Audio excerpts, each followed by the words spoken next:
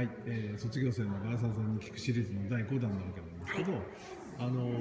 ー、その学校で音音楽を歌をこう学びながらね、はい、それからその前にもずっと中学校の時から、はい、えー、子供の頃からか歌をずっと歌ってきたわけなんですけどそのこのウェディングシンガーにこうつながっていく、えー、こと要するにその何がきっかけで今回今のお仕事をするようになったんでしょうかね。えっと本当きっかけは私の友達が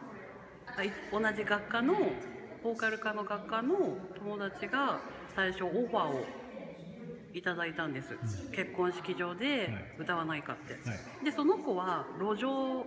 で弾き語りをしてた子だったので私には合わないって言ってで「りえちゃんどう?」って「りえちゃんだったら合うんじゃないの?」って言われて「じゃあやってみる」って言ったのが1年生の終わりぐらい。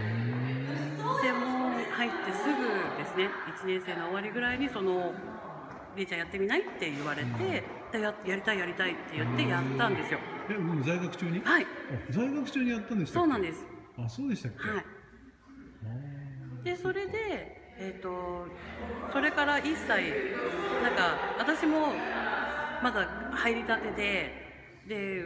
歌とかそういうのも全然分かってなくてであんまりこう先方さんにこう気に入られなかったっていうか、うん、であんまり良くなかったみたいで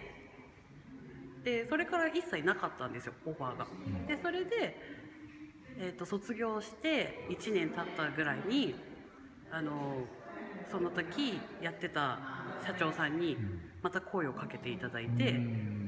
やらないか?」って言われて「結婚式場で歌いませんか?」って声をかけていただいて「あやりたいです」って言ったのからですね。なるほどじゃあもう在学中から始めてもう随分ねあの経験を積まれて今に至ってるということなんですねわ、はい、かりました、はい、まずはありがとうございました。はい